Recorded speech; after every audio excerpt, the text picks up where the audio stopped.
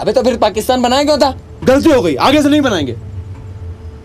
दो उस समय तक मैं बहुत एक्टिंग सीरियसली नहीं करता था। मैं एज राइटर था मैं प्लेज लिख रहा था और मैं, मैं कर रहा था। बट अभी भी मेरे दिमाग में मनाली वहाँ की ब्यूटीफुल मेमोरीज जब हम फ़िल्म शूट कर रहे थे बहुत बहुत बहुत ताज़ा हैं। And I I remember Amrit was supremely confident every time he wanted any shots Amrit ने बहुत दिल से फ़िल्म मतलब बहुत पैशन से फ़िल्म बनी थी।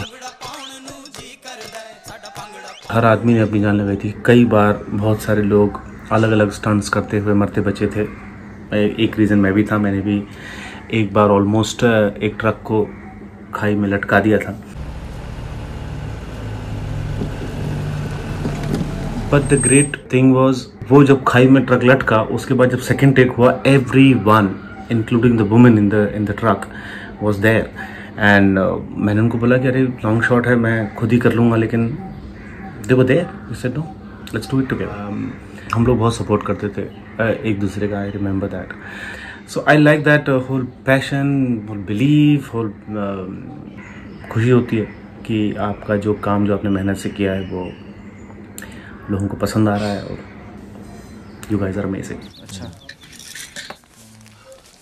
अच्छा भाईजान आपके पास कोई दवाई होगी जो दर्द को कम करने में चोट लगी हो तो?